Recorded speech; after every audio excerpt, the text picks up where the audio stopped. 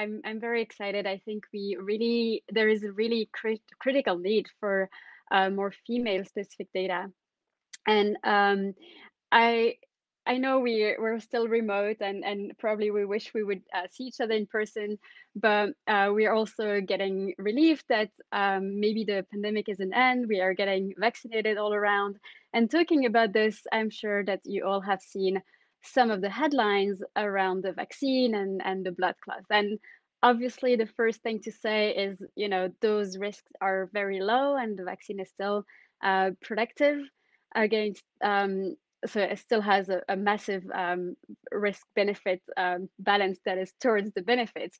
But what is intriguing is that we've noticed that most of the severe side effects have been affecting women, and this was especially striking for the Johnson and Johnson vaccine, where uh, really almost all of the cases at the start were um, for women in the age between 18 and 48, and um, so this um, also in, in my, in, my, social media, I brought a lot of uh, infographics like this, uh, trying to ponder the risk of the vaccine versus the risk of having a blood clot from even just oral contraceptives.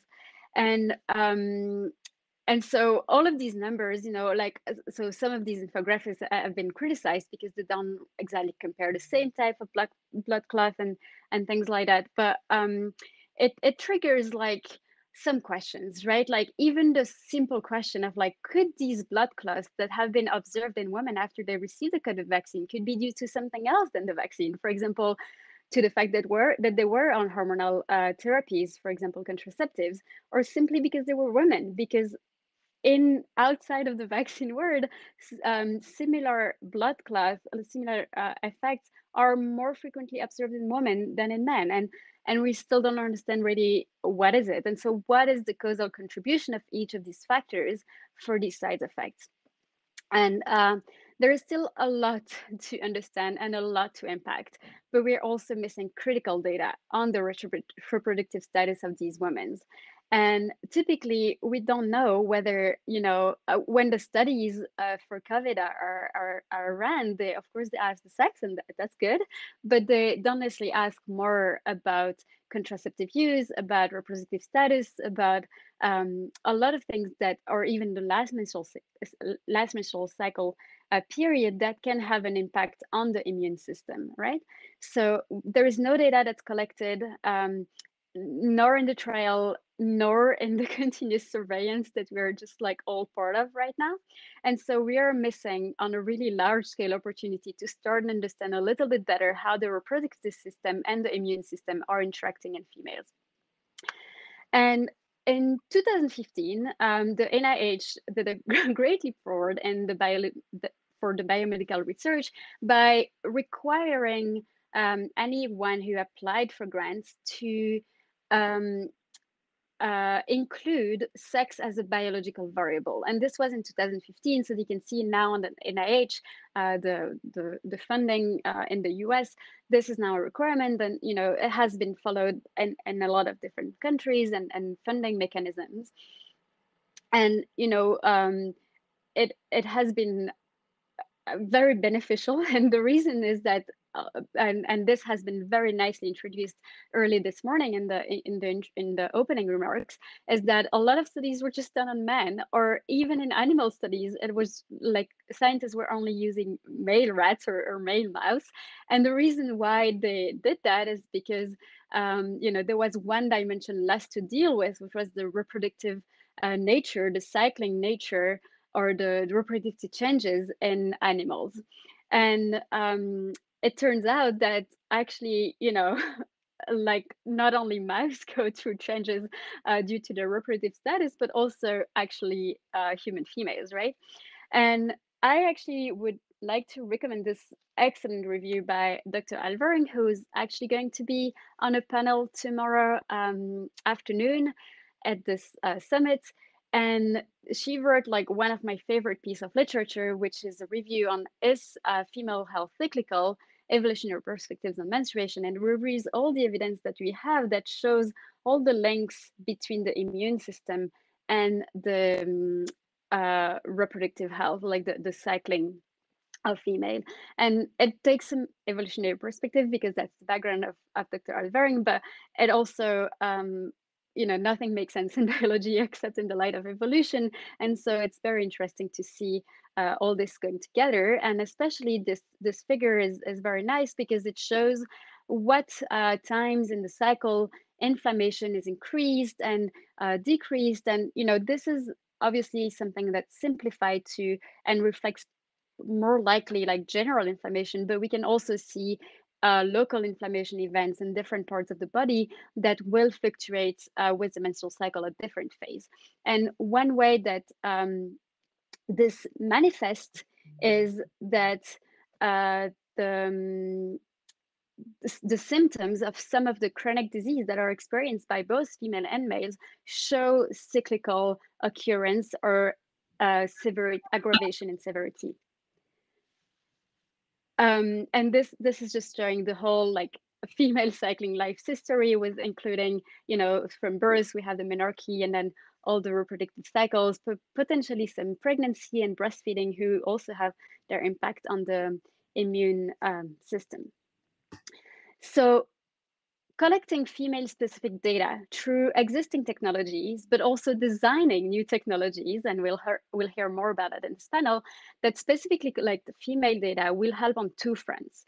One is to improve women health in general. And there I'm talking about anything that's strictly um, female, right? Like pregnancy outcomes, reproductive disorders such as PCOS, endometriosis, breast cancer outcomes, uh, understanding recurrent pregnancy losses, understanding fertility issues.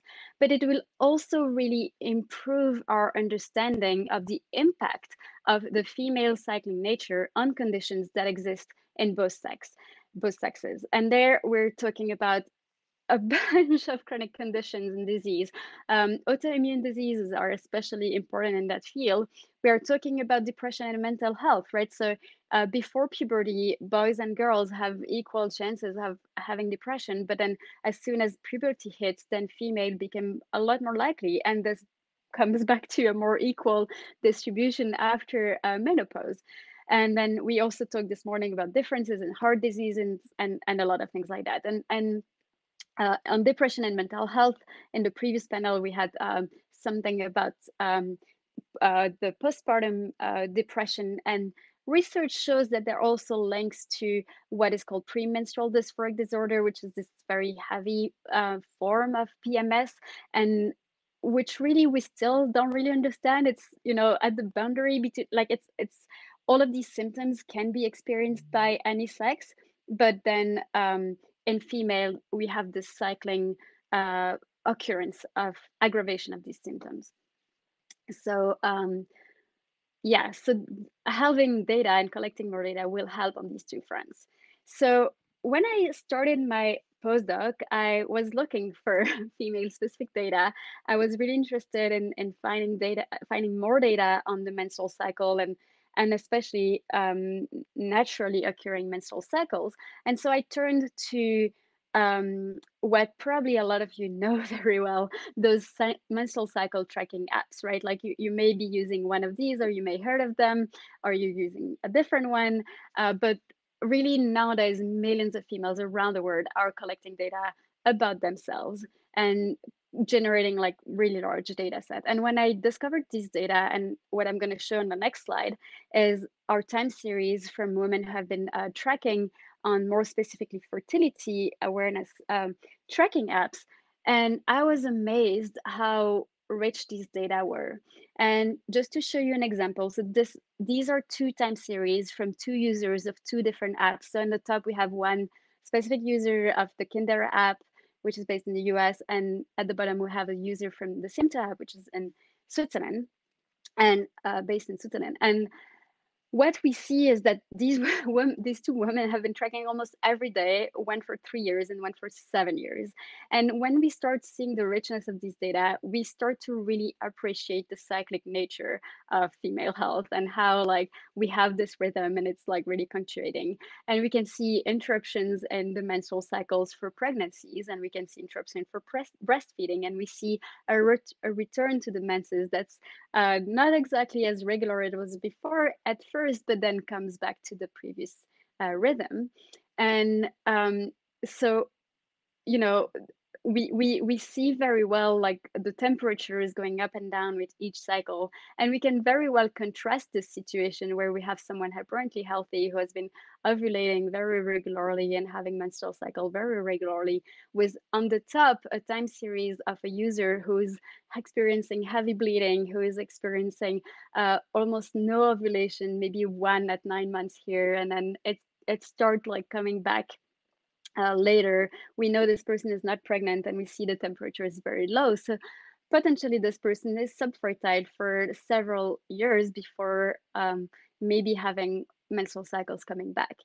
And so um, these data are really rich and they provide a lot about the reproductive status, the context in which uh, women maybe are going like under treatment or maybe have some specific conditions and it really provides a background for this. So we can we can see that already we can have this data. We we did um, some work to show that the data is actually quite accurate even though it's you know low tech. Most women use just uh, thermometers at home and observe their mucus and um, uh, log their bleeding but it is useful. We can we can find that you know the the distribution of ovulation days um, match what is expected uh, from the medical literature. So it's it's it's pretty interesting to have uh, these data. We also uh, developed a method so that we can label those time series and really learn from these time series and understand how many people go through pregnancy losses and recurrent pregnancy losses in these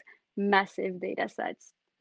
So um, that's that's like really encouraging to see that low tech and cheap tech really can uh, give us an affordable way to include reproductive status in any longitudinal study and go beyond just sex as a biological variable, but having um, the reproductive status as the context in which anyone enters a study. And what does it change to have more precise data and a better understanding of the menstrual cycle? So I just showed you like, okay, already with some tech that is around, we can do this and we can, I'm sure we can do this even better with other tech that will be introduced on the panel today. But what does it change to have more precise data and to have a better understanding of the menstrual cycle?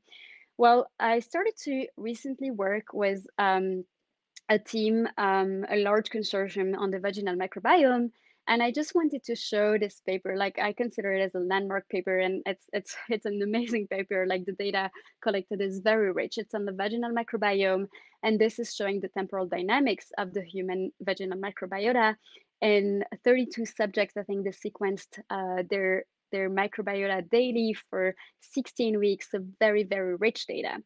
And as you can see, everyone has a different microbiota and there are changes around the menses. And at some point in the paper, they uh, said that they wanted to study how it changed with the menstrual cycle.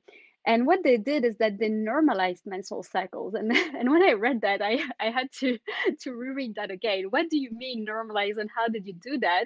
And they simply squished or elongated menstrual cycles. And this is like literally ignoring the whole literature that has haven't been published on the menstrual cycle phase distribution. Because we know that the second part of the menstrual cycle is a lot more consistent in duration than the follicular phase. So if you want to squish anything, um, then at least just do it on the first part. Like don't do it on the second part because you know that otherwise, otherwise everyone is gonna not have the main event of the menstrual cycle, which is ovulation aligned. And so their conclusion from from this and from doing this analysis that oh they couldn't really find something very associated with the menstrual cycle um, and also what surprised me is that even though they have this extremely rich data set, they didn't really bother measuring hormonal levels. And like I really I really like this this this study. I don't want to I don't want to say anything so bad, but I, I was really surprised that if you go invest the money to collect these very rich data sets, you don't even ask the, your participants to take ovulation tests, right? So it was really hard to uh, adjust ovulation.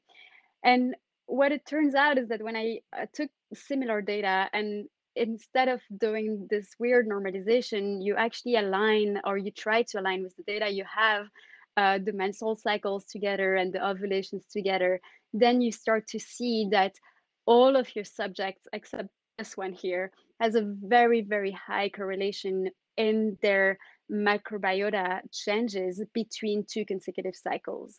And so once you start actually taking the reproductive nature and you incorporate it in, in a way that makes sense with what we know about the biology, then you start seeing a very strong signal. And uh, so that's just um, yeah i just wanted to show this this is preliminary preliminary work but i wanted to take those few examples and these few visuals to really introduce introduce this panel and really say that we still have a whole new world to discover and to understand and for this we need to collect more and better female specific data. And we need to develop also technologies to collect this data. We need to develop softwares to analyze this data. And we also need to improve education on the cyclic nature of women health. It has to become the norm that every expert of every medical discipline should know which variable might be relevant for their study and how to incorporate this data in their analysis so that really the future of medical research is fully including uh, females into the equations. And so with this, I'm very happy to introduce our panelists. So we'll have Marina Pavlovic uh, Rivas, who is the CEO and co-founder of Eli Health. Uh, we'll have Eric Dy, who's uh, co-founder and CEO of Bloom Life, and I believe Sarah Kerruish. I didn't see her backstage, but maybe she come up um, right now. I can't see. Uh, who is the Chief Strategy Officer of Kheiron Medical. Um, and I will just stop sharing my screen so I can go back to uh, you guys. All right. Oh yeah, and I see Sarah is here with us, so that's great. Um, and so I think it is uh, now time then to introduce um, Marina Pavlovic Rivas with a little more detail as she's going to give us our first presentation. So she's the co-founder and CEO of Eli Health. The company develops an at-home device that can capture daily hormone fluctuations from saliva and an app that provides insights tailored to each user's unique profile. So hormones are at the core of hormone reproductive and general health, and yet they remain a black box. Um, Eli Health unlocks this box and put women's daily hormonal data in women's health. The company develops an at-home device that captures the hormones in saliva and uh, the app, as I said, so that they can uh, take better decisions on their hormonal therapies or, or, or the health in general and decide on intervention with this data at hand. Um, so with this, Marina, um, I think you can share your screen and your presentation with us. Thanks a lot, uh, Laura. I don't have um, a PowerPoint, but I'll give a view of the company. And thank you so much for the the presentation on well the impact of data on women's health that's directly related to what we're doing at uh, Eli. To give you a short uh, overview, we started the company in 2019, initially around contraception, because we were seeing a lot of women around us looking for a method that is hormone free, non invasive, but still effective. And by talking to uh, physicians, looking at the existing research, uh, scientific literature, we saw that hormone monitoring could be a viable path. I think you'll hear, uh, hear more about that uh, tomorrow in a panel dedicated to uh, contraception and fertility.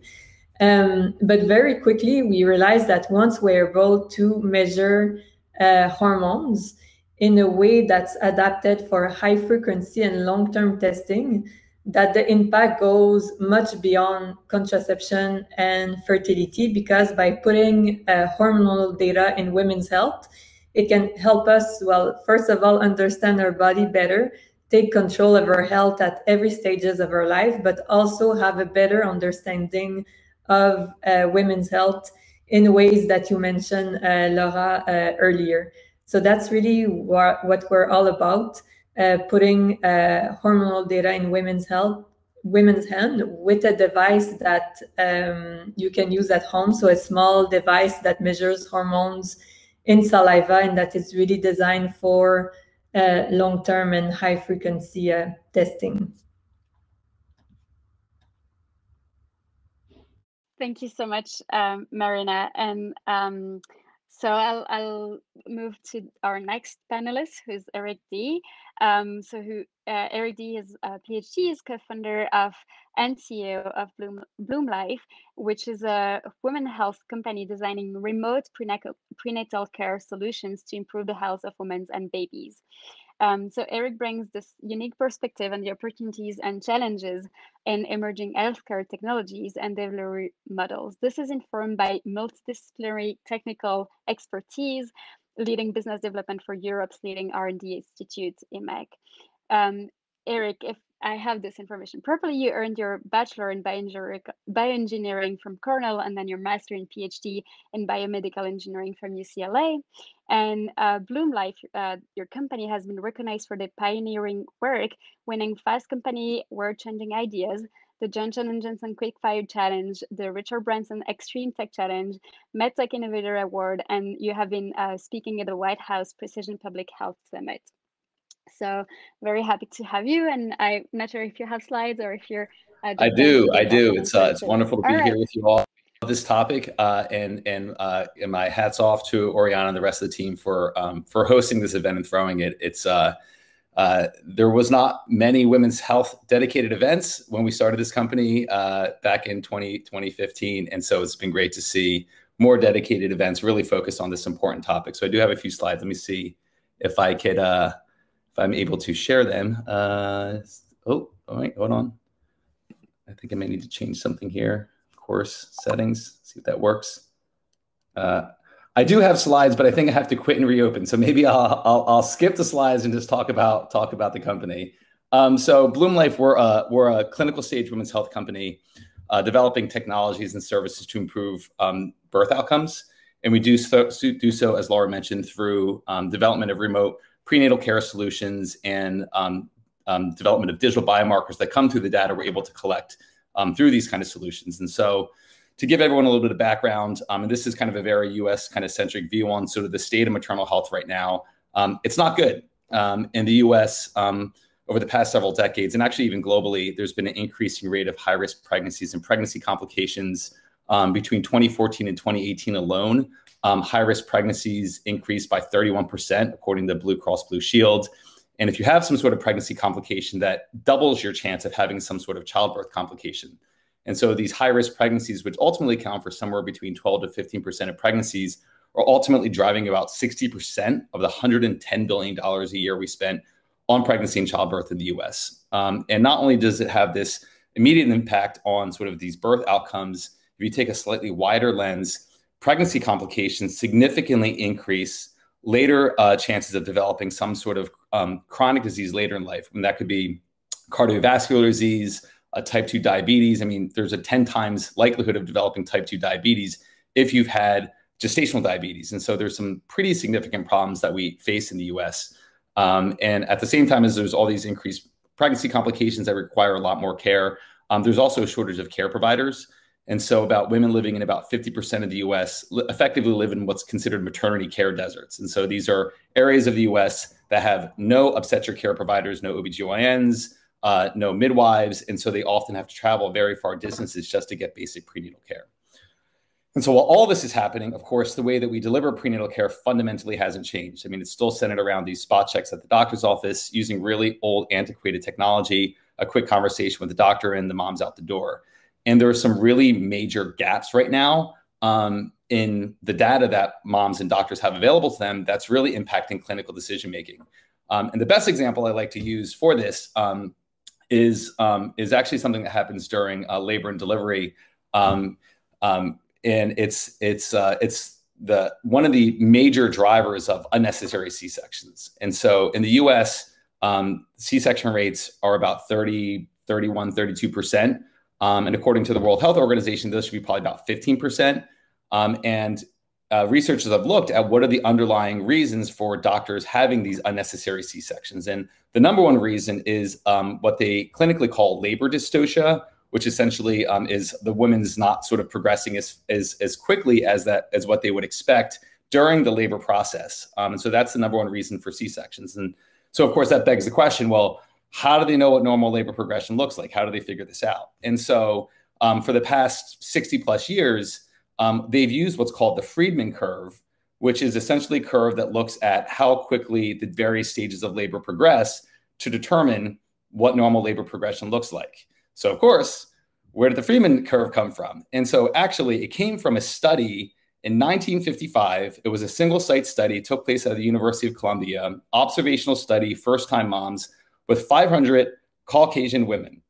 And that's what they defined to be normal labor progression. And to make this worse, 55% of those women had delivery by forceps. And even worse, because this was taking place in the 50s and sort of this is what standard of care was, 96% of the women that were part of this study were sedated, some significantly sedated. And so they essentially have extrapolated from a 500 person observational study at one location with 500 white women that were predominantly sedated that this is what normal labor progression looks like. And this is a significant problem, as you can all imagine. And so part of what we're developing at Bloom Life is not just the technology to improve clinical care today by improving access, um, you know, empowering moms to take a more active role and aggregating data to help doctors to make better decisions today. Ultimately, what we aim to do is aggregate the largest physiological data set in the world on pregnancy longitudinally across tens of thousands of pregnancies with real world outcomes and to take this data to see how can we actually use this to better understand um, better stratify risk um, be able to tailor care to more effectively address modifiable risk factors and be able to develop digital biomarkers to better understand and predict potentially adverse events. Um, and what we've done today, and of course, if you see my slides, you can see all these things. Um, what we've done today is we've already aggregated data from about 12,000 women throughout the US. Um, 30% were high risk pregnancies, 45% came from rural communities, um, multi ethnic mix. Um, and it essentially has allowed us to aggregate about 1 million hours of longitudinal physiological data. Um, in some circles, this is probably not that big. In the in the women's health and maternal health space, it's it's huge. Uh, the next largest data set we could find out there had about 500 hours and took six years to collect. And so I think it speaks to the power of using these technologies that could go into the home to get more regular data samples, um, as Marina's company is also doing. And what we've done with this data to date is to actually do a first um, a first pass of machine learning against this data set and have developed a digital biomarker to identify labor onset so this was trained with data we collected in the real world sort of environment. And we then ran a prospective study that was funded by the European Commission to see can we can this data in a, in a sort of more prospective manner be able to distinguish between labor and non-labor. And we are essentially able to show that we could identify labor onset with the same accuracy as a doctor giving a, a physical exam. So it's a pretty significant um, finding. And the implications from a clinical lens is being able to reduce unnecessary trips to the hospital for false labor, which occur in about one in three pregnancies, um, be able to uh, get a better idea of what normal labor staging looks like, again, to potentially address some of those C-sections, and also, and perhaps mo most importantly, as it relates to sort of global health outcomes, be able to earlier identify spontaneous preterm labor with the goal of intervening earlier to um, predict, to prevent or at least delay preterm birth, which is a massive, massive, massive, massive global issue in um, the maternal health space. So that's what we're working on. I'm sure we'll dive into more details uh, later, but it's uh, great to be with you all. Thank you. For this introduction um, and for also putting in context uh, what is indeed the status of maternal health in the US, but not just in the US. Um, um, and so moving on to our um, last panelist, uh, Sarah Kerruish, and hope I'm pronouncing this correctly. Um, so before moving back to London, Sarah lived in the Silicon Valley. Hello. um, and for 15 years, where she worked on with some of the great inventors of our age. Of our age. This included senior marketing and strategy roles at General Magic, Me Please, and Antidote. As a filmmaker, her productions have been distributed worldwide and won many awards, including a Peabody and an Emmy nomination. In 2017, she made a short film about the last few days of the tech team at the White House under President Obama. Sarah is currently Chief Strategy Officer at Kheiron Medical, working with an incredibly talented deep learning team to improve the detection and treatment of breast cancer. And with this, I'm very happy to leave you the floor and introduce yourself and the company. Thank you. Very nice to be with you today. And I'm just thrilled to hear about these solutions. I think, you know, just the black box of hormones, it's, as you said, it's such a mystery that we know nothing about. And yet women are being prescribed treatments without that underlying um, data. It's so important. And also maternal health. It's just amazing to be with you today. Um, so yes, I work at a company called Kheiron Medical, and our mission is to give every woman a better fighting chance against breast cancer through more accurate diagnosis. And we do that through AI. And one of the, the sort of really important topics on AI is how you train it, how you generalize it, and how you make it inclusive. So I'm going to talk to you a little bit about a specific product we've developed because I think I can touch upon some of these important points um, by referencing our initial product, which is called Mia. Let's see if I can do this.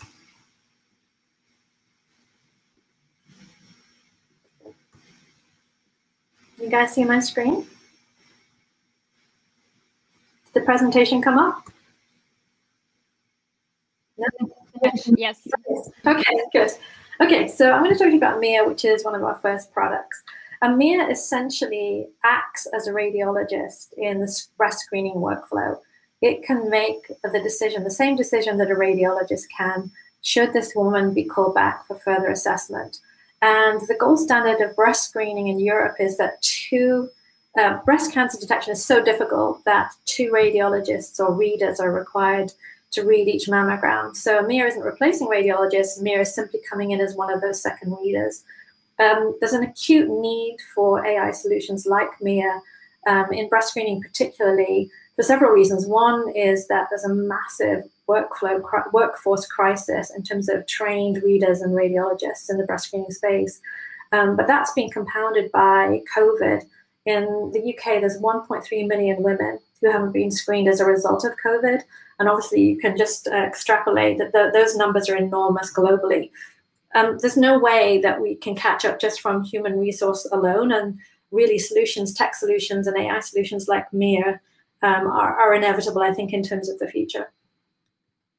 So I'd like to introduce you to my dear friend and colleague, Mary Beth, who works on my team. Um, Mary Beth, um, she leads our partnerships worldwide. And last year, she was diagnosed um, with breast cancer. And Mary Beth was lucky in that her breast cancer was discovered really early. And she was treatment free in eight weeks. And I mention this because the importance of cancer detection can mean the difference between an outcome like Mary Beth's or the outcome of um, another advisor to us, Dr. Liz O'Riordan, whose breast cancer was discovered late. And for Liz, that's meant several rounds of chemotherapy. So what we're focusing and trying to do is develop a technology that's um, even more accurate in terms of the detection of cancer. Um, what's interesting, I think, is, is that what we're seeing is that radiologists and the technology see things differently, and we think that that sweet spot is in the middle, um, and that's what we're focusing on. So I've, I've highlighted and mentioned some of the challenges in breast screening programs, um, the workforce crisis being one, COVID exacerbating that crisis. Um, but there's quite a bit of variability in performance because breast cancer detection is so difficult. So 20% of all cancers are missed, for example, even in some of the best centers. Um, and you know that variable performance and missing cancers that that's a very significant number 20% there have been some solutions developed historically but um, using old technologies and so the new deep learning algorithms are much more powerful in terms of being able to perform these detection tasks and as i said we've been focused on can we detect breast cancer earlier um, this is the decision that I mentioned earlier, the recall and no recall. Um, you'll see the image there where Mia says a callback is recommended.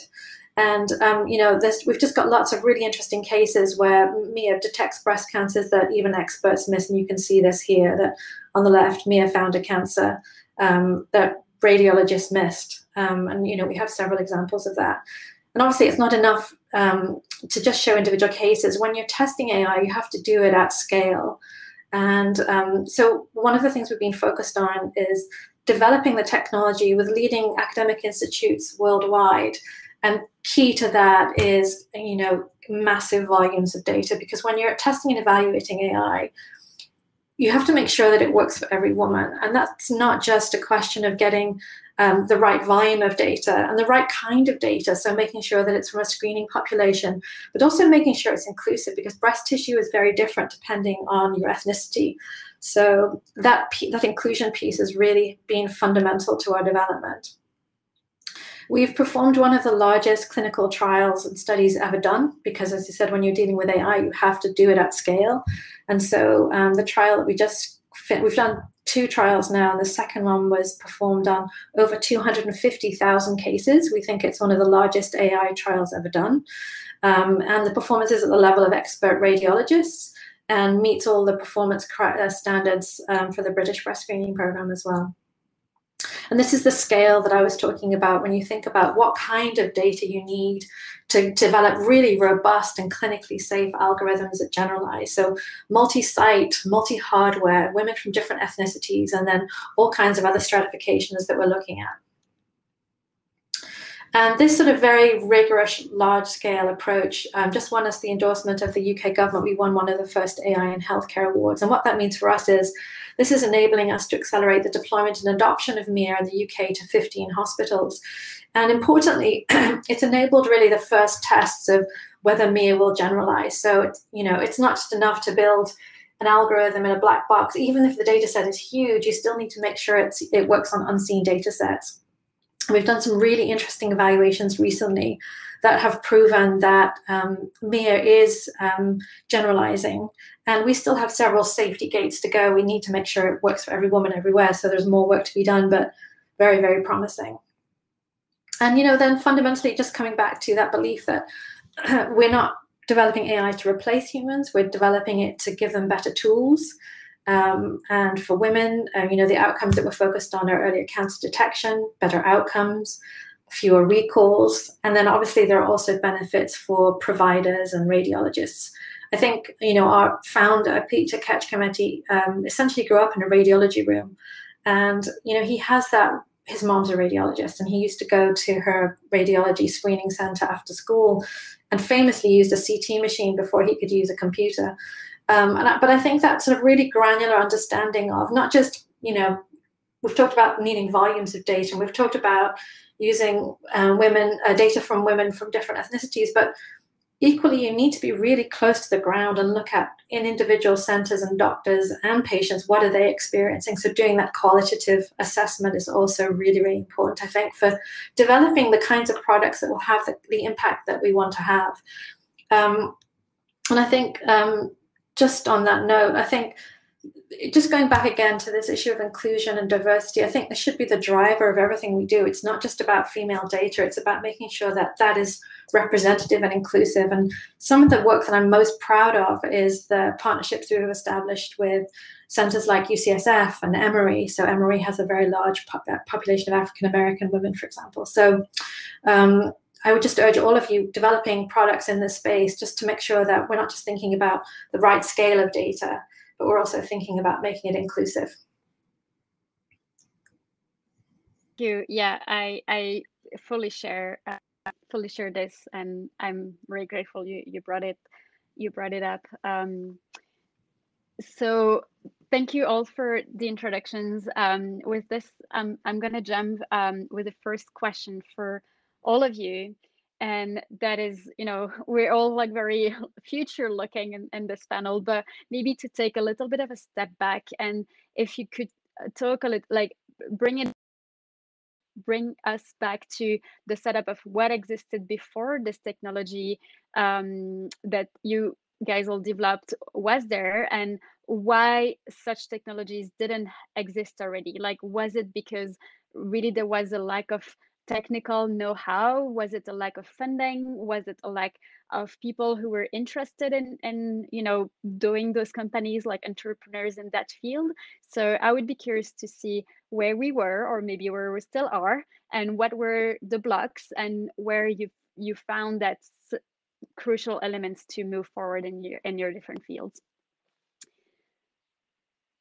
please go ahead. Um, anyone who's inspired. I, it's a question for everyone.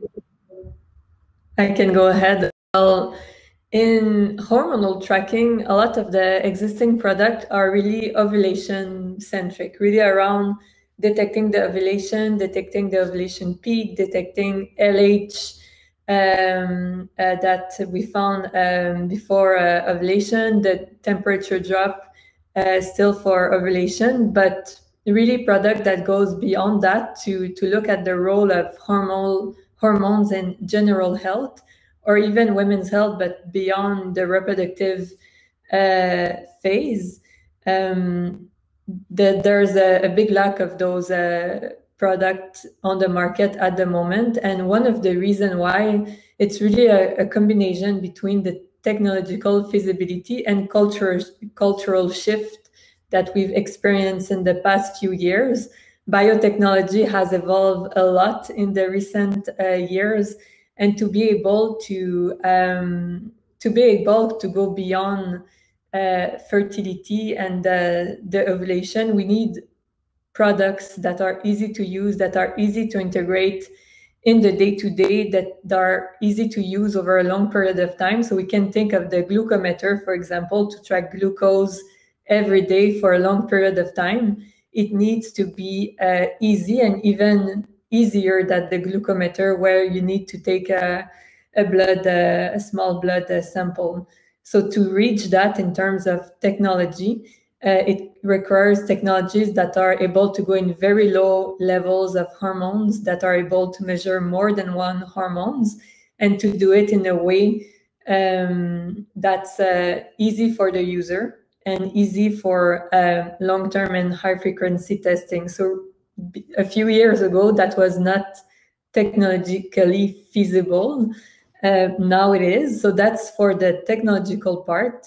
And for the cultural part, um, women's health have uh, boomed, as you, as you, some of you mentioned before. Eric, you were mentioning that when you started your company, there was a few uh, events around women's health. That's not the, the case anymore. So there's an increased awareness around uh, women's health, around the gap that have happened uh, over the past few years in terms of uh, under research, um, um, lack of research around women's health, lack of funding, uh, and now people are realizing the gap and starting to to adjust it. So it's that um, combination of those two factors that uh, that make it now possible to um, to have such a solution.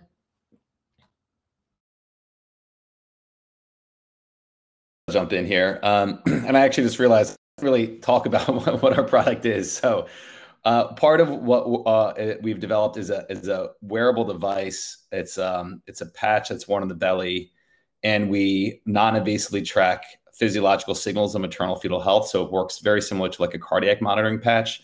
And so what we pick up on is maternal EKG, fetal EKG, maternal EHG, which is uterine activity. And from those sort of signals, you could derive a number of things such as fetal heart rate, fetal heart rate variability, contractions, uh, maternal stress based upon maternal heart rate variability. And so um, that connects to a smartphone app, data goes to the cloud, crunch data, generate reports, push it to the doctor. Um, to your question, Laura, over sort of what has existed for us, um, you know, predominantly everything that's existed to track pregnancies has been around um, technology that was developed in the, I think it was the late 50s. It's a device called a cardiotocogram for anyone that's out there that's had a kid. It's the hockey pucks they wrap around the mom's belly with essentially ace bandages, which everyone hates. The moms hate it, the doctors hate it, the nurses hate it um, because they always fall off and they're uncomfortable. Um, so that's pretty much been standard of care for the longest time. Um, that technology isn't user friendly. Um, it's hard to sort of miniaturize. Um, um, and you know, I think to your question of, you know, why hasn't there been any change? I think there's it's probably multifaceted. Um, part of it is a lack of investor interest, generally speaking, in the women's health space. And so, if there's no funding, then it's kind of hard to build products in this category. And for the folks that have kind of had the dominant position, um, there's kind of two companies, predominantly GE and Philips. They've pretty much been doing all inpatient monitoring. And when you have 80, 90% market share, there's not really a whole lot of push to innovate, right? Since you already have a captured customer. Um, so I think that's part of it. Part of it has been technology, but I don't think that's been the the sort of the the primary sort of thing that's preventing it. Um, I mean, obviously, there's a lot that's changed over the past, you know, 15 to 20 years as it relates to um, sensors and, and low cost sensors at that, that um, in many ways has been triggered by the, the smartphone industry. That's really dropped the cost of developing um, new devices, um, you know, and, and, and so I think that has been a bit of a barrier, but I think that probably hasn't been one as, as big a one in the past, probably 15 years or so. Um, and I think maybe the third barrier specifically in, um, in our domain is obstetricians are just pretty conservative people um, for for good reasons, and so I think it's been um, more challenging for folks to really get products out there that um, that identify exactly how this is intended to be beneficial to the provi- to the providers themselves. Um, you know, we're kind of taking a two phase approach of improving quality of care on the near term, um, which should be reimbursable under the current regimes, with a medium to longer term view of actually improving upon standards with new solutions that are kind of a little more breakthrough from like a digital biomarker perspective. But it does take time to develop those data sets to you know to make useful tools out of them to validate those tools to get regulatory clearance to put those into into into clinical workflow. So it's a long journey. And so i think it's it's it's a matter of trying to figure out how do you um, drive longer term innovation while still being able to fund the company over the near term since most um, investors aren't interested in a 20 year journey with you um, so uh, so yeah so i think that's that's kind of what our perspective would be I'm really glad you raised that, Eric, because that's definitely one of the biggest issues for small companies. Is just how do you stay long enough in the game when all of those hurdles have to be um, have to be overcome. Do you have a Do you have your product handy? I'd be really curious to see. I have the sensor. I don't, of course, I don't have the patch because I'm not prepared here. But so this is this is the sensor. So it's about the size of a match matchbox here. Amazing. And so this snaps into a disposable patch. It looks very much like a cardiac uh, patch. If anyone's seen like the iRhythm patches, it kind of looks like that, only it's different shape, and it has electrodes integrated into this. And so, um, yeah, this is. But this is what the sensor is. This has two main chips as a, an analog front end for measuring electrical activity, and then an accelerometer, um, and then we just communicate to the phone via Bluetooth. That's amazing. Thank, Thank you. you. Um, so, in addition to all of the other challenges that have been mentioned, I think really in our space compute power, cloud have really enabled um, the development of AI. There were some earlier products developed, things like iCAD, um, and those products were largely based on supervised learning, so labeling, so having a bunch of radiologists label different things. And the result of that was a series of products that basically recalled way too many people and was very confusing and were, generally not widely adopted.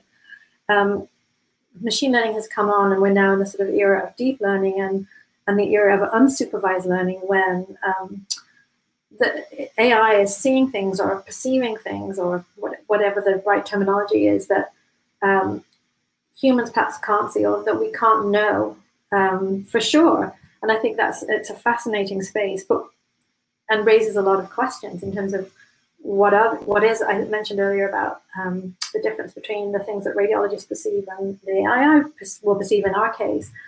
But what we can do is we can start running some really interesting comparisons. So we did we took um, a whole bunch of different kinds of characteristics of tumors in that massive trial I referred to, and we looked at okay what kinds of tumors were the radiologists picking up, what kind of tumors were Mia picking up. The astonishing thing, my expectation was that they would actually be really different. And in reality, they were very, very similar. So even though Mia um, functions um, largely in, in terms of unsupervised learning, we're still able to pick up the same number of invasive cancers and the same number of um, DCIS uh, lesions. So I think that I think that whole area is absolutely fascinating, and there's space. But fundamentally, I think the challenge for AI solutions has been just the technology and the compute power. that was uh, very insightful. And following up uh, on this, and you were saying uh, just a moment ago that uh, previous tools would have like a much uh, uh, like a, a, recall rate way too high, and so that wasn't really useful. And actually, um, one question I had for you was that. Um, you know the recommendations for the age at which women should have their first mammogram has actually heavily been determined by how many false positive and false negative were found at different like stratified by age. And then basically setting setting a cutoff where uh, you know there would be uh, not too many uh, false positive that would lead to you know heavy intervention and unnecessary intervention and then when the the um, the the prevalence of the of the disease was high enough that this would balance right each other and yes. so my question is do you anticipate, or is this already the case that there are discussions with epidemiologists that a technology like MIA would allow to change those um, policies in terms of what's the age at which first mammogram should be taken by, by the by, by women? It certainly could. Um, but I think going back to our earlier conversation, we'd have to do very large studies to make sure that that is in fact the case, which we haven't done yet because those there are some very interesting trials happening where they're taking younger cohorts of women and old cohorts of women actually and looking at the efficacy of screening. So I think we have to then make sure that Mia was working on those populations to be able to have to, to be definitively say whether it could make a contribution in terms of tipping that balance or not.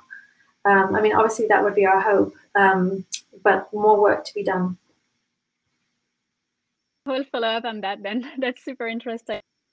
Um, I I had a to continue a question for and and you kind of already started to answer that, uh, Eric. But what is so the data you're collecting is is basically uh, electrocardiogram or or similar to that for women. I would I was just curious if you can could tell us a little bit about the type of data you were collecting, what's the sampling rate, and um, who is also seeing the data? Are the women like the, the, the future moms seeing the data? And and maybe what are the limit like the main limitations, like the hardest things that you guys had to overcome, maybe in terms of noise, in terms of accuracy, mm-hmm. or some something along those lines. Yeah. Uh, so um, what we uh, what we pick up is um, electrophysiology. So we measure the electrical activity of the body, and we specifically are interested in the mom's heart, the baby's heart, and the uterus. Um, and to contrast that to the existing technology, so the existing technology for tracking pregnancies is, as mentioned, this device called the cardiotocogram, and it uses ultrasound to measure fetal heart rate, and then it uses a pressure probe on the abdomen to measure contractions. By shifting from those technologies to our technologies, you actually capture a lot more information. There's a lot more information embedded in the electrical signals than there are in just sort of these kind of more rough signals. Essentially, it's a difference between like taking someone's pulse to measure their heart rate versus getting like an EKG. Like there's a lot more information, diagnostic information in EKG than if you just measure someone's pulse. The other things that we do is we're able to collect um, self-reported information from the mom through sort of qualitative surveys um, in the sort of the first phase of sort of the business we were in, um, we were also getting uh, self-reported due dates. So when did the mom actually deliver the baby, which sort of was the endpoint for our data set.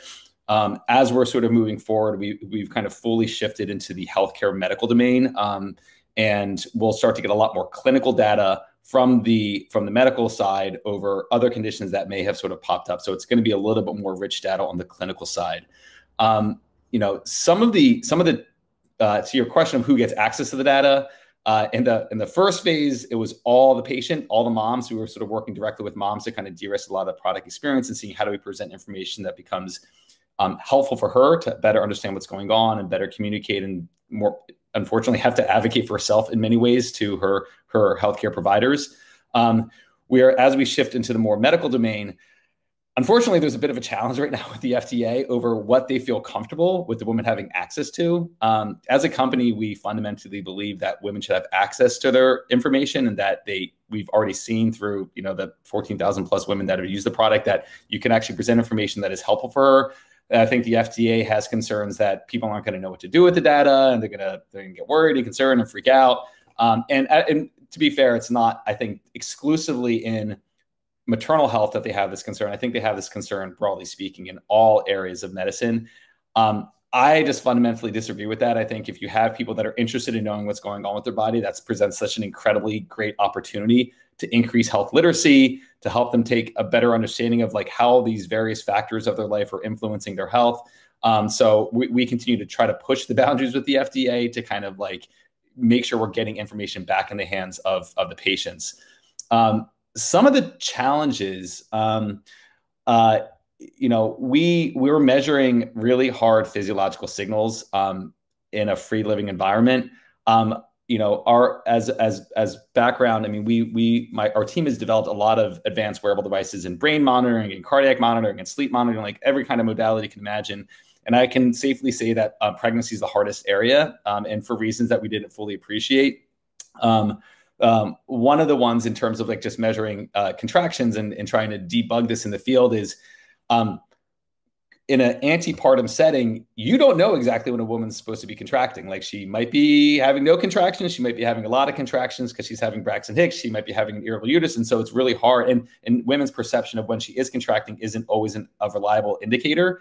And so it was incredibly hard to try to debug and improve the algorithms out in the field to know is this the algorithms? Is it something else that's going on? Is the mom sort of perception not accurate? Um uh, so that was a challenging one. And on the fetal side uh, we are trying to measure the only organ that moves. Like your heart is pretty much set in one spot. The baby's all over the place. Or on the left side on the right side. They're rolling around. The placenta's in the front. The placenta's in the back. And so the actual conditions uh, that you might be measuring can change from moment to moment which presents a pretty big technical challenge that we've had to overcome um, and so we've come up with some pretty clever techniques to ensure data quality, um, uh, reliable signals, accurate signals. Since if you're going to be presenting any information to anyone, uh, especially in pregnancy, you need to really make sure it's accurate and reliable. Um, so there's been a number of, of challenges we've had to overcome that yet we feel like we're in a pretty good spot on. But it's um, yeah, I think it's uh, it's been interesting uh, to, to say the least. And I don't know if I covered, if I answered all your questions in there. I want to know if also, yeah. Sorry, I just wanted Go to ahead, know. Sarah. I wanted to know if you um, are also measuring how much the baby kicks and doing a longitudinal study about which ones become good soccer players. so we, we we have we do measure fetal movement, so we we are able to pick up on that. Um, uh, uh, y- yes, uh, and, and, but we're not necessarily having that long term long term longitudinal study of looking at um, how this could imp- uh, predict uh, their their football playing capabilities. Um, there really is some interesting uh, research that we're partnering up with some some folks. Uh, that, and we were partnering up with um, a, a, group in Singapore that's done this uh, study called the Gusto study that looked at maternal mental health uh, during pregnancy and how that is actually creating um, um, epigenetic changes in utero that are, and of course, this is only kind of study would happen in Singapore where they're just kind of throw monies at research. Uh, they essentially did um, uh, uh, brain imaging of the baby at birth and then every year until the age of seven. And they found that women that had high stress environments had babies that had um, um, underdeveloped uh, uh, parts of the brain for neuroregulation and those persisted to the age of seven or eight that could lead to sort of behavioral problems later in life. And so then the question that we're working with them is like well how do we get more objective measurements of maternal stress during pregnancy? So there's some really really some interesting things that um, that we could dig in on on this data. Um, and of course we have a particular data set. We're always interested in bringing in data from orthogonal things whether or not that's blood-based things, urine-based things. We know we pull data from third-party devices like blood, blood pressure cuffs. So there's a lot of really interesting things, and, and we just have a facet of the solution that you need to kind of get all the other data points around it. Much. Um, uh, this was also interesting. I wanted to go back um, a little bit in the conversation, so Marina, about what is their vision for uh, sharing the data with the patient going through medical like the medical field? We we just heard eric saying at first they wanted to give all the data to the woman and then there's some discussion with the fda and then i wanted to know what was uh, your perspective for for your company on on on this aspect whether it's like a purely um, direct to customer service or if it's something that will uh, go through the medical world so similarly to Eric, we believe as a company that data should be in women's hands. That data about our bodies, we should have access to it uh, to be able to take control of our own health. However, there's a responsible way to do it, and the that way is to really partner up with physicians, with regulatory bodies to make sure that the information we're sharing uh, is shared in a way that cannot cause harm. Um, but ultimately, the, the goal is really to put the data in women's health in partnership with uh, with physicians and, and regulatory bodies because sometimes it's hard it can be hard as a company to uh, predict all of the consequences of sharing that information uh, so there are regulation in place. There there are medical um, professionals, and partnering partnering up with them can enable to uh, avoid those uh, unforeseen uh, events. following up on that, so um, I, I, know the primary goal is, is measuring hormonal levels, and this is per se so important.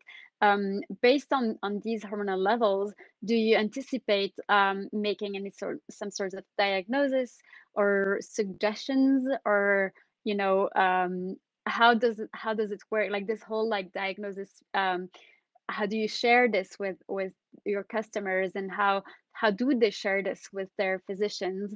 And you know like what is the regulatory space around this? And also what is just like like I, I think a lot of uh, medical students in the audience might be wondering as well you know like this is bringing a diagnosis to a patient you know is, is a big responsibility there. You need to carefully pick your words. You need to uh, you know say this at the right time and and and then make sure you have solutions for them or you can discuss with them what are the next steps. So i was wondering from your perspective how you saw this and if you're already thinking in those terms or, or not yet as you mentioned it's a big responsibility to to have and it's something we are for the future. We want uh, to be uh, to be to go really beyond the reproductive phase and and be able to give actionable information to women and really understand what's happening. Uh, we need to to go beyond just giving the information but also uh, give um, more context around what it means for for women. Um, but to do that, um, it's it's really a long process because we need to have the the right clinical evidence uh, in place, uh, doing the right clinical studies, uh, having the right uh, regulatory approvals, um, and working hand hand to hand with uh, with physicians. So it's definitely something that is on our roadmap, and that's ultimately our our mission. But to get there, it's a it's a it's a long process, and it has to be a long process because it comes with big uh, big responsibilities. Thank you. And um, maybe a question for um, for all of you. But um, so so as you know, I'm I'm doing research and I'm always interested in hearing what are the if there are still like unanswered like questions in your field that your data could help and that's you know in partnerships with like i mean you, you all have like talked about uh, partnership with universities to you know make studies validate the products but maybe going a little bit beyond that um, what are the questions that are still really open that we still really don't know about in you know cancer research and, and maternal health or in just like reproductive hormones and health in general like those intersection between reproductive hormones and you know the immune system um, what what do you see are unanswered questions? I think if any. yeah i mean i think for us the big question right now is the potential of ai and the kinds of technologies we're developing to predict breast cancer. And we just did um, a study in the states uh, a very um, a really interesting um, it was but essentially, there were 25, it's a little bit hard to explain, but there were 25,000 women in this cohort, 5,000 of, of whom went on to develop breast cancer. It was a known outcome. And Mia was run against this sample. This is our technology. And Mia wasn't developed to be able to predict which of the women in that cohort would go on to protect breast cancer. Um, but astonishingly, it did with a very high level of accuracy. So of the 5,000, I don't remember the exact number, but it was an astonishing number that Mia picked up. So I think that's one of the, the, the surprise findings that whenever you're working at this scale, uh, when you start interrogating um, capacity and insight, um, I just think there's a so much richness, um, and and I think we just have to retain curiosity to see like, well, could it, might it, and and I think what as a result of this, we've developed an entirely new product to basically address the COVID backlog and essentially have a lot of interest from sites who want to run, it's called RSVMP, against um, their cohorts of women uh, looking at their last mammograms. And of those women, who should be prioritized for a callback? So I think that's an example of uh, an unexpected finding and, and, a really interesting area of, uh, for us research going forward. Thank you. Jump in. Um, uh, for us, uh, I, I, think the, the biggest one is when are you going to go into labor? Um, there's a lot of things, um, both for uh, normal pregnancies that that is a lot of curiosity around there. There's a lot of costs associated with kind of going in uh, uh, at the wrong time, and and clinical lens preterm labor and preterm birth is the single biggest issue globally in women in, in maternal health. Um, 15 million babies are born preterm every year. 1 million die of preterm birth. It's the number one killer of children under the age of five. Um, and we have no idea um, when people are going to deliver preterm. And, and, and in fact, uh, I don't believe there's any tool, there's a few in development that actually can even predict who's going to deliver preterm. Um, today, it's at best a coin flip. Um, and the coin flip essentially is uh, when you get to a coin flip based prob- uh, uh, uh, predictive value, it's because you've had a prior preterm birth. And so the number one predictor of whether or not you will have a preterm birth is if you've had a prior preterm birth. And so obviously for first time moms, that kind of leaves them out of that equation. Um, and then for those moms, it's at best a coin flip. And so um, um, coming up with data that allows you to earlier identify women that might be going into preterm labor, that are going to have a preterm birth, there's a lot of um, care coordination that could already be done to help support these uh, pregnancies. Um, and this isn't just in the US, this is a lot in the developing world as well. Um, and making sure that uh, women get to the kind of care facilities that can support a preterm baby, since not all hospitals are equipped to support um, or don't all have a NICU to be able to support a preterm birth. Um, but I think ultimately it goes, if you go further upstream, it's a matter of how do you actually better predict the moms that are going to deliver preterm and then intervene sooner to reduce the probability. And I think um, it's been challenging because preterm birth is a very complex disease with many etiologies. And so we're, we're kind of taking a very blunt force approach. And I think ultimately, it's I, I kind of view it the same thing as cancer. Like you're never going to prevent cancer, right? That's cancer is going to happen biologically. So it's just a question of how do you mitigate the effects of cancer? And I think preterm birth is the same thing. I don't think you're ever going to fully eliminate preterm births, but how do you mitigate the effects and perhaps lower the probability of a mom delivering preterm, or at the very least delay when that preterm birth might happen, since babies that are born after 32 weeks have a significantly higher uh, survival rate than those before born before 32 weeks. And so, the more you could kind of let that baby gestate, um, the higher the chances of survival and and and less long term impact. So, I think there's a lot to be done over um, risk stratification, tailoring a care, and then um, having more uh, tools that are as it gets closer to an impending birth or actually being able to identify this mom's going into spontaneous preterm labor. She will go into spontaneous preterm labor in the next few days. Yeah. I, I I'll just jump in because uh, as, as I was saying in the introduction, um, you know, we, I started working on the microbiome, and the microbiome has been associated with the preterm risk, but there is still this question that is like not really answered is like what is the causality direction right? Like we don't really know if there's some signal that leads to uh, you know a, a, dysbiosis in the vagina or whether this dysbiosis could actually be uh, causing preterm so super interesting there. And then i'll just um, then extend the mic to marina so that uh, maybe she can tell us a little bit if there are any questions like um, research question that that would be really interested to contribute help solve Yes, well, there are many, as we, you were mentioning initially, uh, Laura, there's, we need to improve our understanding of women's health, but also the cyclical nature of women's health for condition that affects women uniquely, but some others that affect women uh, disproportionately or differently.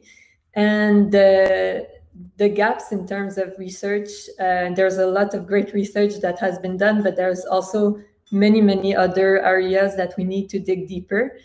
And this is, um, it's a wide range. So for example, we had a researcher reach out to us uh, last month around epilepsy to, to, to try to predict epilepsy crisis uh, better based on the fluctuation of hormones. Uh, PMS, it's another uh, area of we feel symptoms every month, but why do we feel those symptoms uh, differently some months than than other? Uh, being able to track the, the hormonal level could help to uh, unveil um, information there and improve our understanding in in many many aspects of, of women's health because ultimately hormones are at the root of so many conditions and transitions that we experience across their life, but we don't have that uh, data at the moment. So being able to have that data can could help improve uh, women's health outcome, but also our understanding uh, of it. Thank you. And I'll just add on this. Um, like when like one of the most um like infuriating things honestly for me is when any woman goes to get a hormonal birth control um, there is literally no baseline hormonal level that's ever taken. And a lot of teenager girls get prescribed hormonal birth control to regulate the period which kind of is a nonsense. But then really the fact that no hormonal like baseline is given and that you just go trial and error to see which birth control is going to work for you like to me this is like really crazy uh, especially given all the side effects that can be associated with birth control so i just have one one note on that is my daughter um, uh, had very irregular periods and um, so same thing she was put on the pill and then she decided she really didn't want to be on the pill and had the same issue and then she went and had proper hormone profiling and proper blood profiling, and it turns out she had a significant vitamin D deficiency. And she took vitamin D, and voila, problem is solved. And I think you know that it's again, it's to that to your point, not doing that fundamental underlying testing um, is you know egregious to say the least.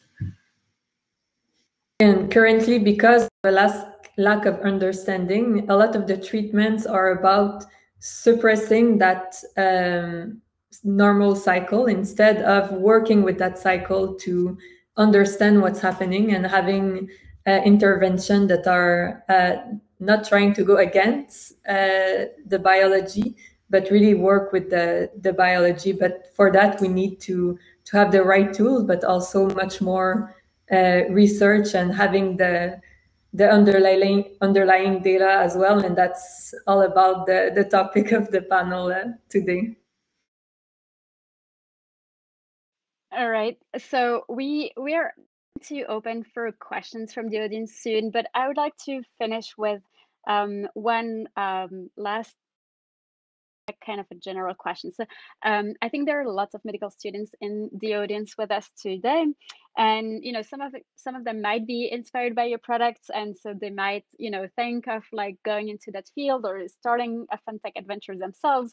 And so, what are your recommendations and also this is um, kind of related but how like we talked about the importance of you know being inclusive in terms of the data we collect like making sure that it's not just a representative sample but really that minorities are actually fully uh, you know are a full cohort. Um, but then on the dev team like who should be on the like should be at the table like who should be part of developing the product who should be part of creating you know the code the software the designing those products. And so a little bit on like the hiring the challenges of going in that field or like or recommendations in general for medical students with us today start and just say that there's so many fundamental problems to be um, addressed for women. I mean, we've just touched upon the richness of opportunity to make massive impact in women's lives today. Um, and, you know, just even basic things like not hormone testing, super important, and maternal health, but, you know, basic things like um, you know, STD testing or um, other kinds of sort of basic testing that can be done and are starting to be done so beautifully by these home kits. So I think the field is ripe for innovation and, as I said, making massive impact on women's lives. Just on the inclusivity note, um, you know, we're very, very focused on making sure that we're, I think, 45% women as a team. And in our tech team, we're 26% women. and obviously, we, we need to do more still, but Google, for example, is only 20%. So I think it's really, really important that you make sure that you have women as your on your on your tech team, as your partners, um, and, and we haven't talked about working with uh, women or patients, uh, depending on the condition, but that is fundamental. So often that very basic principle gets overlooked. So, uh, so my advice is, you know, if you have, um, if you really want to do something that makes a big impact in the world, this is an, an incredible space. Um, there are so many really important problems to be solved, and also very important opportunities economically from a business development point of view. Um, but I think it all starts with listening to women. What do they need?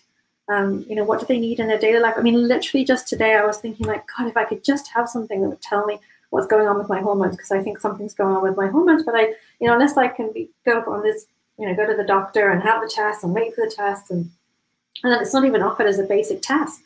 Um, so uh, anyway, that's that's it's, as I said, it's um it's an opportunity to really change the lives of millions of people around the globe.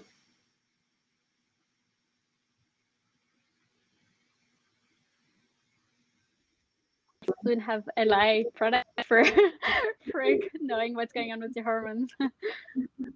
Mm, and I agree with uh, with Sarah that the the area is really ripe for innovation, and it's uh, for for students who, who are looking to combine their scientific knowledge uh, with uh, having an impact. It's a great area to do it, but also a great moment uh, to do it.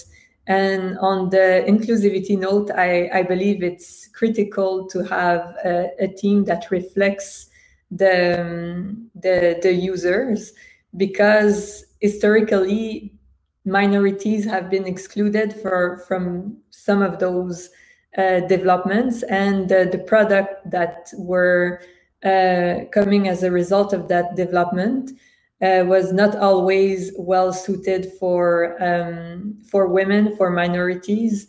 Uh, so I I think we should not uh, redo the same uh, the same uh, mistake. So I, I, think it's critical to have a, a team that reflects the diversity of the the user base we are targeting. Uh, I would echo all those things. Um, I think Sarah are, has already pointed out, I'm sure their um, their stats of what their staff looks like isn't a consequence of of effort to try to find um, and recruit people within within sort of a, a, diverse set or more women in the team. Sometimes it's hard. You need to kind of get sort of the best people for a role. And I think the the way that we found you could always augment that is is make sure when you're doing user research to include people that um, don't look like you. Right, go into communities that you think actually can benefit um, and partner with, you know, we, we've done a fair amount of work in the underserved African American community. Um, and while we don't have any African American people on our team just yet, um, we have partnered with organizations to get us in front of those people to, to kind of build those ties into and to make sure we're hearing from these moms and understanding what their own unique challenges are. Um, I, I, think to the question over sort of, um, uh, you know, recommendations, um, uh, go after a big market. Make sure you're going after a big enough market because that's what investors are primarily looking for. Start to figure out early what your business model is, who's paying for your product. If you're going to have patients pay for it or consumers pay for it, that's one thing. If you want to go into healthcare, really understand how that's going to be paid for because a great idea often dies because there's no way of getting it paid for in healthcare. Um, and if you do need to get your own sort of codes to get reimbursed or whatnot, that could be an incredibly lengthy journey that oftentimes investors aren't interested in going on with you. Uh, so really understanding your business model early on and testing that is is something that I think could really serve you well. Um, so just a few recommendations, and I'm someone's buzzing my door, so I'm going to go let them in. Uh, so um, I will invite everyone uh, watching like with us today to um, if they have any questions to go on the top left uh, corner of the chat um, where they can ask questions and these will show up um, on our screen and, and we'll be able to, to ask our people on our panel here. So um, there are actually questions around this and I think I, I, I mean, I will ask this to everyone.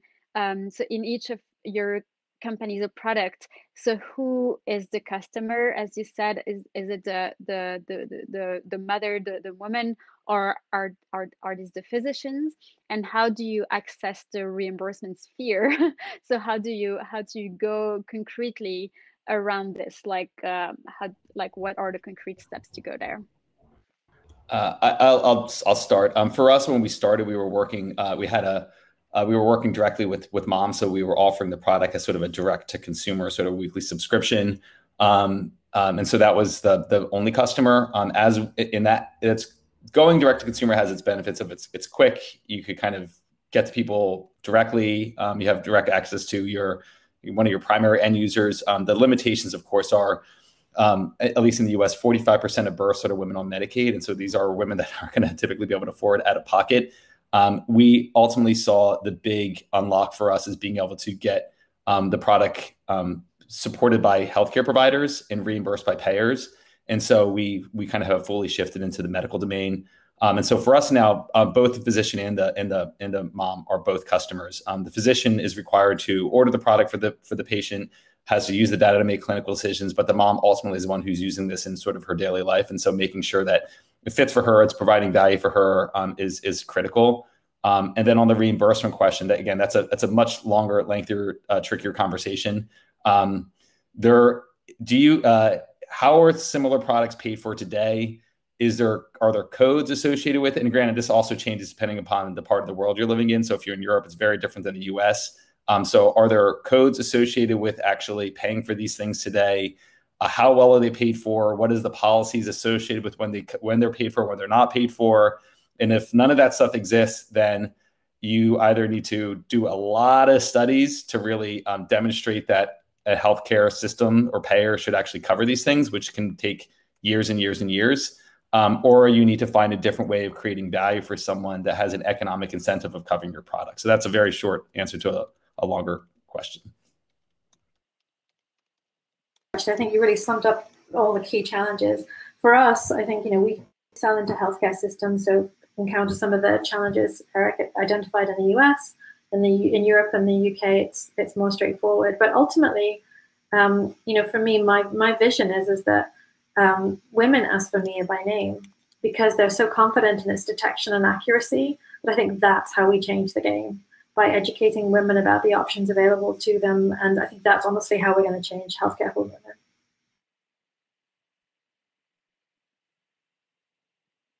And Marina, would you like to? Yeah. Yeah, for for us, it's a, a very similar path that we are uh, having than the one that Eric uh, mentioned. We're going direct to consumer first because it's uh, it's faster, but ultimately our goal is really to partner up uh, with uh, payers and providers um, to to help increase the um, affordability of the product and to to well to to help uh, women be able to to have the the product without uh, out of pocket uh, cost. All right. Thank you. Um, there was a question um, so how do you so first of all maybe to to everyone else um, who i don't know who maybe has work also with uh, gynecologists do you share the view that it's it's maybe a conservative um, word. I, I would I would tend to agree with this. I, I was curious to hear from Marina and Sarah. And then how do you um, how do you strive to inspire these maybe more conservative um, gynecologists? And, and again, there are reasons for why they're conservative, but to use these new technologies. Marina, do you want to start or shall I go? Okay. Um, I think for us, you know, we've always viewed the clinician, in our case, radiologists, as um, and it's such a fundamental part of our journey. So, what do they need? How we can help them? What are their daily stresses? So, I would just say for us, um, yes, conservative, but you know, they're responsible for patients' lives. That's an enormous responsibility. So, I respect that. We respect that as a company, and I feel like our job is to um, work very closely with them, um, as I said, to understand their problems and also get the benefit of their insights about where we can really deliver value. And you know, I always just say to my team, uh, "This is a long journey. Let's make sure we bring them along on the journey."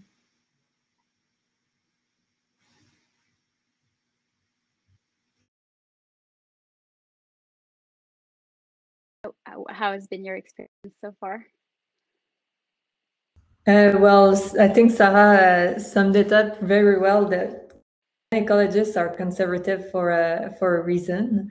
Uh, they have to. They have that responsibility when new technologies are being created. Um, it's a long process from our side to create the clinical evidence, the clinical trials, to go to that regulatory process. Um, it's um, it's a long path for startups but it's necessary. And that conservatism from the gynecologist and the, the space, it's necessary to to to to do things the the right way. However, we've seen a lot of curiosity from um, from the medical uh, field because ultimately they they also know that there is gaps that there is still research that needs to be done and we've seen um, that curiosity of understanding how uh, new technologies including ours can can help fill some of those uh, some of those gaps in terms of understanding and how it could help uh, women's health outcomes. Uh, so, like in any other fields, there are some people that uh, like how things are done today. That it's are harder to um, share how things could be done in the future. Um, but there are also a lot of people uh, very curious and even if sometimes uh, the incentives are not really there for for them we've seen that uh, some physicians and gynecologists are are willing to uh, partner up and to to to be with us in that process to make sure that it's evidence based um, clinically validated and that we're doing things the right way because they understand how it can improve people's life at the end of the road Thank you. And um, I think I'll take one more question from the audience. And I thought this one um, was interesting. So the you all need to navigate, you know, international and national guidelines and regulations uh, for your products. And have you seen instances where you were puzzled by the regulation and where you thought that this was not relevant for what you wanted to do? Um, any example of that, or does it all make sense why as you take a step back? For us in AI, um, this is um, such a, an interesting area because the way that AI is developed, it continually improves. And yet we still have to go through these massive regulatory processes every time we improve the model. That's not sustainable and it has to change. It will change, but we're stuck in that middle middle place.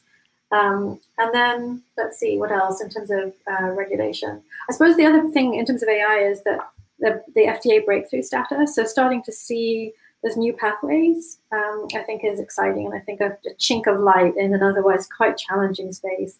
The other thing I would say is, you need an amazing regulatory team, which we have, uh, because it is extremely complex. and, in every geography is different, or most geographies are different.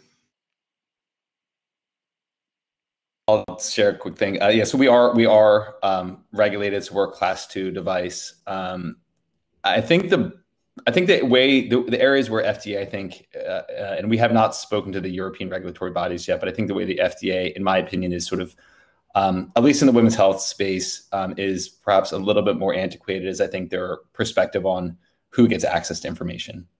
Um, and I kind of mentioned that before. I, I think that we've definitely had conversation with them that for us just I think we could even point to um, point to journal articles from an AJOG over the value of patients having access to information and being able to take a more active role in managing their care. And they were unmoved by the professional societies. And so I think that is an area that I believe the, the regulatory bodies need to move on. I think they need to um, develop perhaps some best practices and guidelines for how to conduct usability studies in a way that's producing data that gives them confidence that what you are presenting back to uh, back to patients is understandable, is valuable, is meaningful, um, and is not creating, I think, some of the cons- uh, not triggering some of the concerns that they have, which isn't necessarily an easy feat because you're actually serving obviously a pretty wide range of people with different educational backgrounds and different lived experiences. But that being said, I think it's something that is really critical for the healthcare space to evolve um, and to move from this kind of paternalistic system that we largely operate into something that's a lot more collaborative with their patients.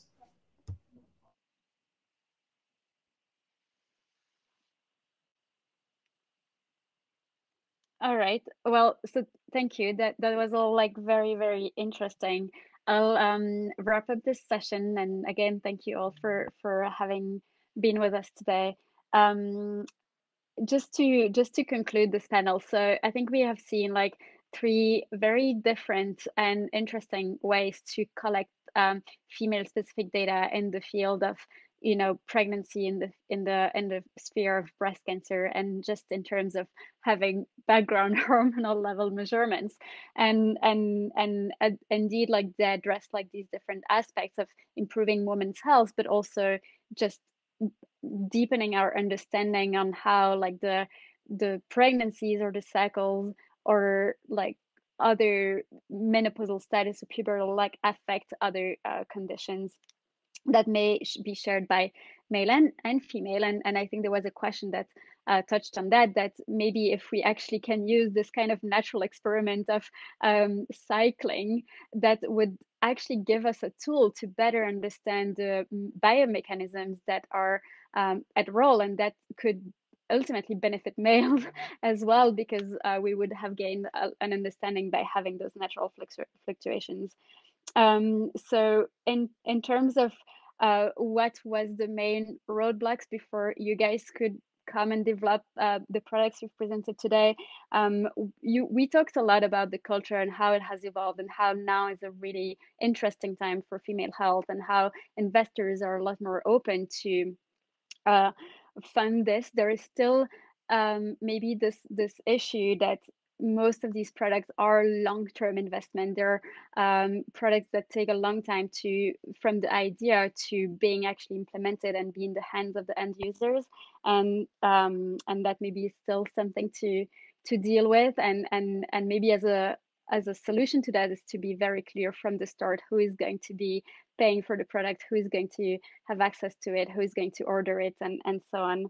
Um, and and yeah and then gaps in like there, there were some gaps in technology but really also all of your products have taken advantage of things that were developed uh, overall either in in biotechnology like having uh, sensors that are miniaturized and and they're like we talked about a little bit how the, how the smartphones actually industry has led to those miniaturization but also how other device like glucose sensors like how it has like probably driven um, being able to detect smaller amounts of molecules in different fluids. And that's how this helped. And obviously for Mia how the whole deep learning revolution that we're living in has allowed to develop this. Um, and and i hear i heard a lot of like really good relationships with the medical world with obstetricians and and trying to um, make sure that uh, you know all the patients needs were heard and that uh, the the obstetricians points of view or opinions or concerns were also heard and and put into the development of this product. So with this I'll um, thank you very, very much. I